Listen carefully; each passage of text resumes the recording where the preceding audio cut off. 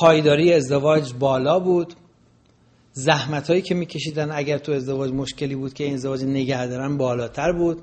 نیروهای مخرب از خارج از ازدواج از قبیل فیسبوک و یاهو 360 و MySpace و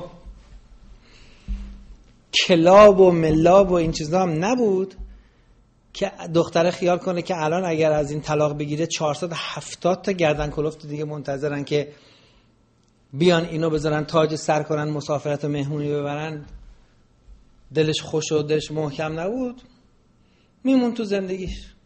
این همه زنایی که در الان مثلا 90 سالشونه یا 80 سالشونه یا 70 سالشونه یا 60 سالشونه که طلاق نگرفتن همه علتشون نبود که عاشقانه شوهرشون رو میپرستیدن که. شرایط طوری بود که اینا میموندن و موندن به صرفه بود. موندن زحمتش کمتر بود موندن سلامتش و سیفتیش بالاتر بود. ازدواج برقرار میموند.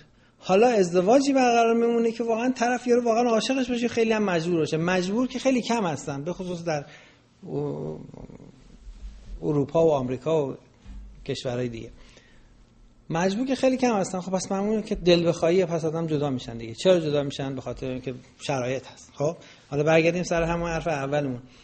اگر قرار بود که دخترها نمی اومدن و به هزار کلک از خونه نمی اومدن بیرون و به پسرها چیزی رو که باید پسر جون می‌کند ازدواج می‌کرد خونه می‌خرید چه می‌دونم این می‌کرد کار میداشت این میداشت اون میداشت تا به دستش برسه اگه همین چیز رو مجانی و راحت در اختیارش نداشتن که منظور من همون روابط جنسی هست. خب پسرها بیشتر و سریعتر و زودتر ازدواج می‌کردن. اون وقت اون کسی که مثل شیر چه می‌دونم باحال بود و مثل میمون خوش مشرب بود و مثل خر چه می‌دونم کاری بود و مثل نمی‌دونم سگ با وفا بوده اینا خب این آدم دستش که وقتی به دختری نرسه خب میره ازدواج می‌کنه دیگه. دو تا دختر سه دختر می‌بینه به یکیشون بالاخره ازدواج می‌کنه. نمی‌تونه از بیرون خونش بیاد بیرون. حالا گیرم هم خوشتیپ حالا دیرم هم دختره یه جوری داروی خواب میرزه تو غذای مامان بزرگشو می‌زنه بیرون. خیلی خوب. حالا اومدی بیرون. سر خیابون می‌گیرن اونجا می‌گیرن مردم حرف می‌زنن بقال سر کوچه خبر میده. داداشش از اونجا میاد چاقو کشی میشه. باباش از اون میاد. حوصله نداره. نمی‌تونه. زجرش زیاده دردسرش بالاست. میگه آقا ول کن آقا به دردسرش نمیارزه. ازدواج می‌کنیم. الان دختر خانم این قضیه رو برای پسرها آسون کردن. ولی خب دختر خانم ها قسمت بریم قسمت دوم دوستان که تلفن می‌کنین خواهش می‌کنم بذارین تلفنتون رو بعد از اینکه من قسمت اول برنامه رو گفتم.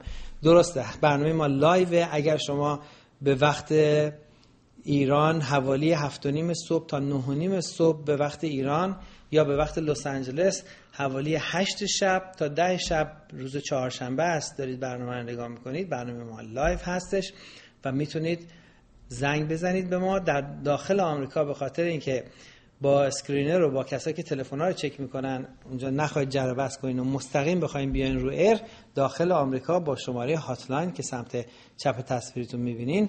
می‌تونید تماس بگیریم مستقیما میایین رو cell phone امو و امو شما رو مستقیم بی دردسر از این cell phone خوشگله میارتتون رو air. که این hotline دقیقه دو دلار هزینهش هست ولی خب از بقیه جلوتر میایین بذار من اینو قطعش بکنم که سرصدا نده. خب بله این از داستان تلفن ها به خاطر همین من شرمنده اگه تلفن می‌زنین و جواب نمیدن لطفا الان زنگ نزنیم بذار من مطلب رو تموم کنم یا در واقع شروع کنم. بعد شما با هم دیگه تمومش می‌کنیم. و لطف کنین راجع به همین مطلب صحبت بکنین. راجع به مطلب دیگه صحبت نکنیم بعد همونجوری که می‌دونید برنامه های پرچونه گاهی اوقات سوژه آزاد و میکروفون آزاد هستش. گاهی اوقات هم یه مطلب داریم. امروز یه مطلب داریم. یه تاپیک یه موضوع داریم ما. و به خاطر همین از شما خواهش می‌کنم که اگه ممکن باشه راجع به همین موضوع صحبت بکنین. و اینم از اینو اینم رو vibrator رو. خیلی خوب. می‌تونید به hotline زنگ بزنید 712 432 42 42 کسانی که credit card دارن دقیقه دو دلار برای حرف خودشون خرج بکنن. دقیقه دو دلار خرج بکنن که بیان روی air ی که دقیقه حداقل 100 دلار خرجشه. دو دلارش هم شما بدین. برای حرف خودتون خرج کنین. از این دو دلار هم یه دلار خورده ایش میره به کمپانی گردن کلوف می‌رسه. حدود 60 70 80 سنتش هم به بنده می‌رسه که بعدم رو اون تکس میدم میشه 50 سنت. نه ولی برای این اینو گذاشتیم که ما بتونیم دوستان رو رو هاتلاین هم داشته باشیم. دیدیم وقتی می‌خوایم بریم کلاب یه خط یه صفی از این ورش فرش قرمز داره اسم رو گذاشتن وی آی پی یعنی چی؟ یعنی که پول بیشتر میدن دیگه. تموم رفت. یا چیزهای معادل پول رو پروواید می‌کنن if you know what I mean. بله.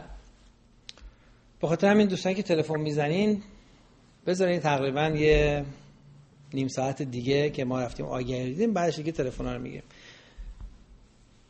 البته این بحث رو ما توی تلویزیون آریا هم یه بار کردیم ولی خب تلویزیون آریا برای ایران پخش نمیشه. دوستانی هستن از روی اینترنت می‌بینن برنامه رو ولی خب عمومی نیستش. ولی خب خوشحالیم که بعد از چند ماهی دوباره روی ایر ایران ما برگشتیم. روی ایر آمریکا بودیم به لطف تلویزیون آریا و بقیه تلویزیون دیگه ممنونیم. ارشاد که به این ترتیب. خب پس دو جور آدم داریم به عنوان شوهر. یکی اون شوهر رویایی که دخترها دنبالش میگردن. یکی اون شوهر واقعی که دخترها یا خانوما یا به هر نحوی گیرشون میاد. نهایت قضیه ورگ آخر کتاب که می‌خوای کتاب رو ببندی عکس خانم آقا کنار هم دیگه اون شوهری هستش که گیرش اومده. ورق اول کتاب که در سن 12 سالگی باز می‌کنی 14 سالگی باز می‌کنی اون عکس آقا خانومی که اون خانم تو تصورات خودش نقاشی کرده اونجاست اون که اول کتابه. میگن شاهنامه آخرش خوشه یا جوجه آخر پاییز میشمارن. اینه که اون آخر واقعی است اون اول آرزو هستش. حالا قبلا برصورت این مردایی که مردای رویایی و آرزوی هر کس دختری بودن بالاخره وجود داشتن زندگی می‌کردن تو این جامعه بودن. بالاخره زن می‌خواستن بالاخره احتیاج داشتن بالاخره زندگی می‌خواستن برای خودشون داشته باشن. حالا زندگی همیشه به معنای داشتن فرزند و همسر نیست ولی بالاخره تفریح و خوشگذرانی و هزار یه چیزی که البته من می‌دونم تو ایران هیچ کس نمی‌کنه ها. یه موقع خیال نکنید من منظورم که تو ایران این کارا رو می‌کنن ها نه. ولی منظورم اینه که مثلا کشورهای بد جای بد می‌کنن این کارا. به هر صورت می‌خواسته زندگی داشته باشه. و این وقتی دختره در دسترس پسر قرار نمی‌گیره خب بالاخره اون هم بعضی از دخترها اون دختر اون پسر هم گیرشون میومد ولی از موقعی که دختر خانما مثل آمریکا و مثل اروپا شروع کردن با همدیگه به مسابقه گذاشتن که کی بیشتر می‌تونه قبل از ازدواجش داخل جامعه بشه و بهترین لباس ها رو در بهترین مهمونی ها بهترین رقص ها بهترین مسافرت ها بهترین آرایش ها و بهترین همه چیز رو هم استفاده کنه هم به معرض دید بذاره که من دارم استفاده می‌کنم که چهار پنج نفر دیگه هم که اونا هم استفاده نمی‌کردن این کار نمی‌کردن. حالا احساس کنن دارن عقب میفتن اونا هم شروع کنن بیان تو قضیه و یه جنگ تمام ایار و تخت گاز به سمت رقابت از هم دیگه جلو بزنن که توجه پسرها به دست بیارن.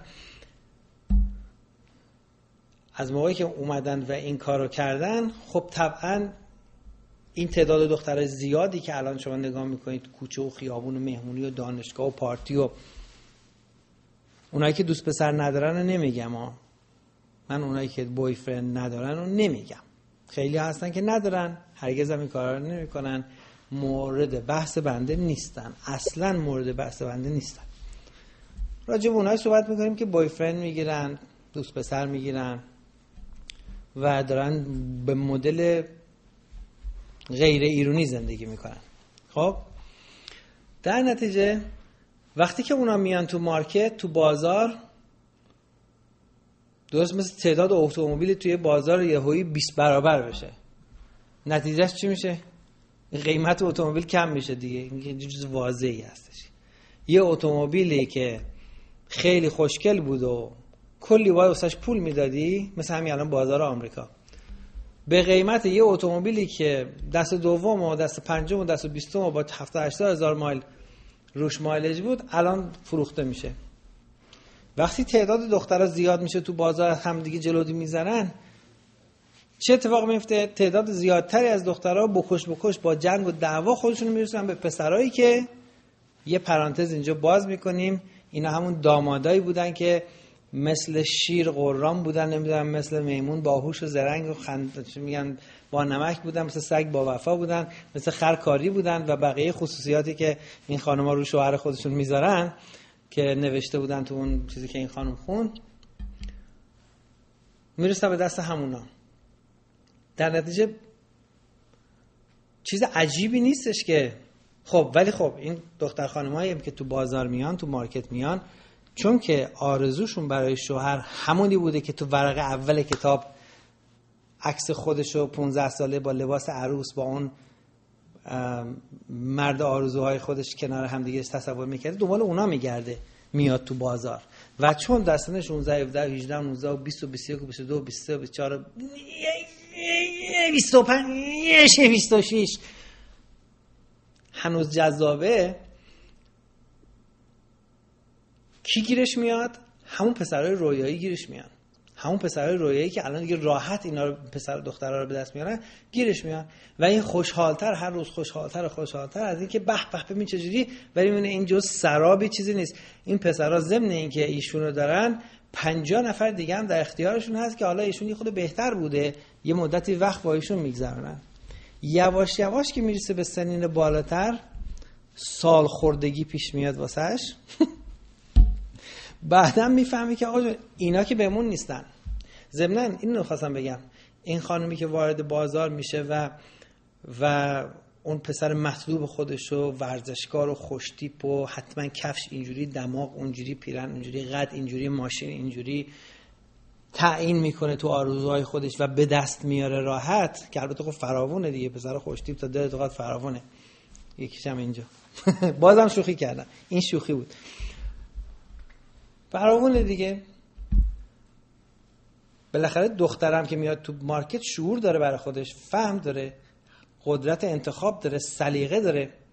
آت آشخال و کور کچل و که مثل میمون زشته و مثل خر نفهمه و مثل شیر بیرحمه و مثل خروس حرم سرا می‌خواد و مثل بقیه چیزایی که اینا گفتن خب اونا هم همیشه همه جا هستن. هم خوش پسر خوش دیبا هستن همون کچل عوضی ها هستن که بعدا شوهر شما میشن. منتها خانومه که دختر اون انتخاب نمی‌کنه اون خوش انتخاب می‌کنه. طبیعیه که اون که خصوصیات سری دوم اون تای عکس عکس تای کتاب هست چیزی به دستش نمی‌رسه جلو چشش دختر از این ور پیاده میشه تا می‌خواد بره جلو پوف از اون ور رفته دوباره اون یکی اینجا پیاده میشه تلیک و تلیک خوشگل خندان و شیک و جذاب از این ور میاد تا میایه کلمه حرف بزن اصلا این دختر اینو نمی‌بینه اون داره اونجا پسر نگاه می‌کرده همونجوری با اون میره بازم چیزی گیری نمیاد میمونه میمونه میمونه میمونه میمونه میمونه میمونه میمونه میمونه میمونه میمونه میمونه میمونه تا چند سالش بشه؟ سی و هشت سی و نو چهل سی و هفت سی و پنج چهل دو. کارش مرتب میشه ماشینشو می‌خره بالاخره حالا دخترم که نبوده پولای اینو بخره بره گردن من بخره بالاخره پولاش هم هست خونه هم می‌خره. حالا زن می‌خواد بگیره. چهل سی و نو می‌خواد زن بگیره. شما که باز محلش نمی‌ذاری. پیف ایش من برم زن اون بشن ایش ایش. مامانش رو میفرسته. مامانش کجا میره؟ مامانش که نمیره فیسبوک. مامان کجا میره؟ میره مهمونی سفره. میره مهمونی این مهمونی اون. نمی‌دونم نظر فلان. مراسم این. خانوما همه نشستن همه دارن واسه هم دیگه شوهر پیدا می‌کنن. این خانم هم عکس پسر خودش میاره اینجا ادورتایز می‌کنه. همش هم یه جای دیگه میره عکس پسرش رو نشون میده. میگن آره یه دختری هست خیلی دختر خوبیه. خب تعریف کنم دختر چجوری میگه؟ یه دختری پیدا کردم مادر واسه پسرت. خیلی خانوم خیلی با سلیقه خیلی فهمیده خیلی سنگین. از این کارهایی که این دخترای جوون ولگرده بی خودی می‌کنن نمی‌کنه. سنگین متین آشپزیش معرکه است خونه داریش عالیه. حالا کسی خونه داریش ندیده ولی حالا می بعد